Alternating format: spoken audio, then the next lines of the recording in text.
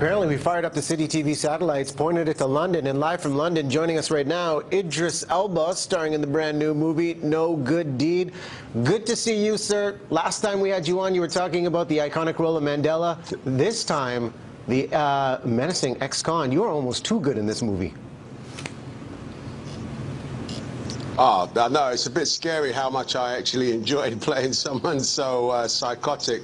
But nice to be back, thank you. Yeah, I'm proud of this film. It's a good, good old-fashioned thriller. You know, it's designed for, uh, you know, a good Friday night out, and I think, you know, audiences will love it, man. It just, do you ever get to a point where you do these roles and your friends and family are seeing you on screen and thinking, wow, who knew he could be so scary and psychotic?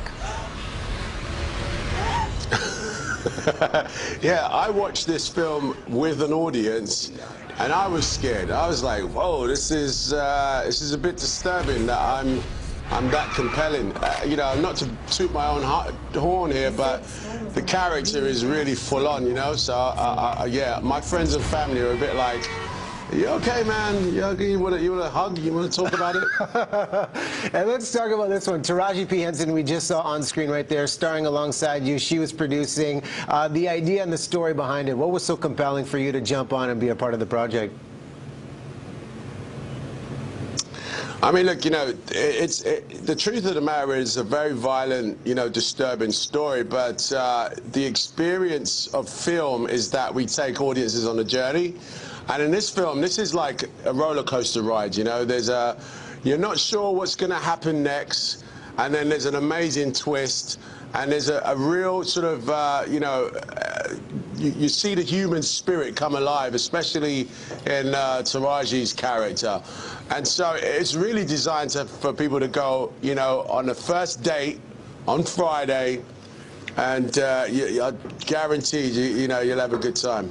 And I know Taraji P. Henson uh, had a, a, crucial role in getting you on board. She calls it the best performance ever, the phone call to convince you and say, we need Idris, he's the guy. Uh, how was she so persuasive to get you on board?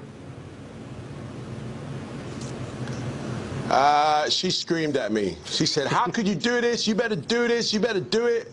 I was going to come over there and kick your butt. That was the conversation. I was like, okay, Taraji, I'll be there.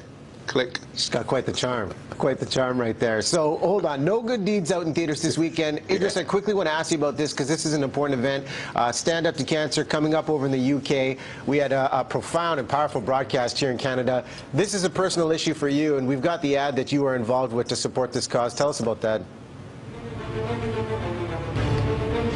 Yeah, you know, uh, you know, as you know, you know, my, my father died from cancer, and it was. Uh, very important for me to help uh, Stand Up for Cancer, who I have helped in the past for awareness, uh, get this new campaign out. Um, it is, you know, the most crippling disease that we have been fighting as a race for a long time, and you know, we need to band together to get it to get rid of it. So, you know, I definitely. Uh, it was an easy decision for me to get involved with, the, with that campaign. And, uh, you know, I hope it, it's successful and I hope it raises as much as awareness as it can. Well, it's a great cause to get behind. Congratulations on being a part of that. And, of course, No Good Deed out in theaters this weekend. Idris, great chatting with you. Thanks for being with us on BT Vancouver this morning. Thank you, Riaz.